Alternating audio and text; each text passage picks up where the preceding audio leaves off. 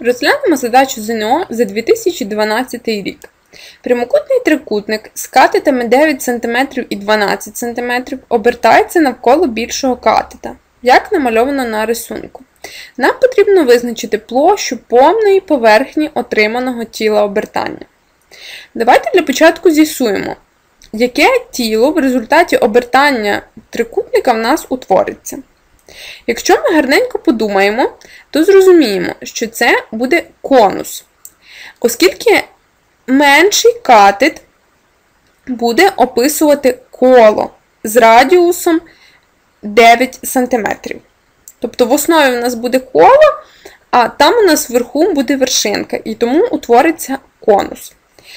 Тепер давайте подумаємо, що нам відомо в цьому конусі. А нам відомо, що висота конуса дорівнює 12, оскільки він обертається навколо більшого катета.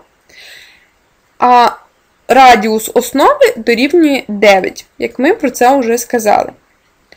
Тепер, давайте згадаємо формулу, за якою нам потрібно знайти площу повної поверхні конуса. А саме, Площа повної поверхні конуса дорівнює πRL плюс πr квадрат. Як бачите, в нас виникло якесь невідоме позначення L. Що таке L? L це твірна конуса. Відрізок, який з'єднує вершину конуса, вершинка в нас знаходиться ось тут, з точкою на колі, що лежить в основі нашого конуса. Тобто, в даному випадку твірною буде гіпотенуза нашого прямокутного трикутника. І ми її можемо знайти за теоремою Піфагора. А саме L квадраті дорівнює h квадраті плюс r квадраті. І це 144 плюс 81 дорівнює 225. Звідки, добуваючи корінь, ми отримуємо, що L дорівнює 15 см. Тепер ми сміливо можемо підставляти в нашу формулу повної площі всі дані.